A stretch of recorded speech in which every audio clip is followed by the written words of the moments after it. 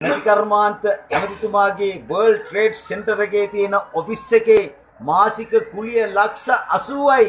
ඒ කුලිය වැඩි කියලා එතුමා කිව්වා අපේ ගමට ගෙනියන්න ඕන කියලා. නමුත් ඒක අර අලුතෙන් OIC කෙනෙක්පත් වුණාම ලොකු චණ්ඩි ටෝක් දාන්න ඒ වගේ ටෝක් එකක් විතරයි. තාමත් එතන දැන් කියනවා එතෙන්ට ගෙනියන්න බෑ කියලා. නේද? ඊට පස්සේ අර කවුද මහාචාර්යතුමක් එතුමාට කෝල් කරලා කියලා තියෙනවා අපි ඇස්බෙස්ටෝ නවත්තන්න ඕන නවත්තලා ඒකෙන් උළු හදන්න ඕන. හරි ෂෝක් හරි ලස්සනයි කන චූන් වචන ඇමතිතුමා. මොකද උළු හදනවා නම් උළු වලට වහලකට දානවා නම් රීප් ඕන. රීප්ප ළඟින් ළඟින් ගහන්න ඕන.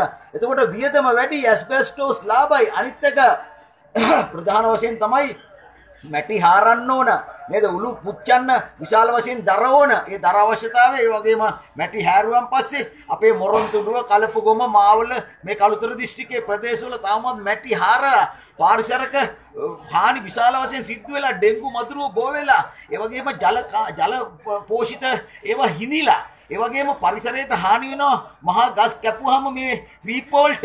ඒ නිසා ඒකනුත් අර ඔක්සිජන් කන්න ඕනද කියපු මිනිස්සුනේ ඉන්නේ. ඒ නිසා ඒගොල්ලන්ට නම් ප්‍රශ්නයක් නැහැ නේද? අනිත් එක වියදම වැඩි වුණාම මේව ප්‍රායෝගික වෙන්න ඕන. නේද? පස් කපන වැඩේ ප්‍රායෝගික නැහැ දැන් අර දැන් අපි නා පොඩි කාලේ නම් අපි ඔය කැලණියට ඇවිල්ලා එතුමත් කැලණියනේ. අර පූසෝ අරයි යනවා. දැන් ඔය මීයෝ අල්ලන්නේ නෙමෙයිනේ. මේ මැටි පූසෝ මීයෝ අල්ලන්න බෑනේ.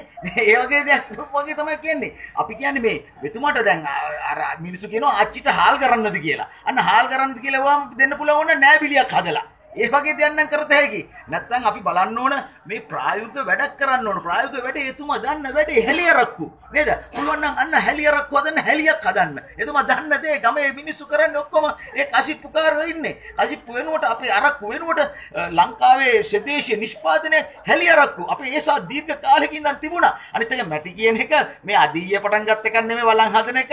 මේ ඒ කාලේ ඉඳන් තිබුණා අවුරුදු 4000ක් විතර වෙලා තිබුණා. අපි එතුමාට කියන්නේ ඔතුමාට අන්තිමට කියන්න වෙන්නේ අම්බලමේ පිනා පිනා වලංකතක් ගෙනාගෙන ඒක බිඳපු ගොනා ගොනා. ඒකට මට hina hina ජයවා.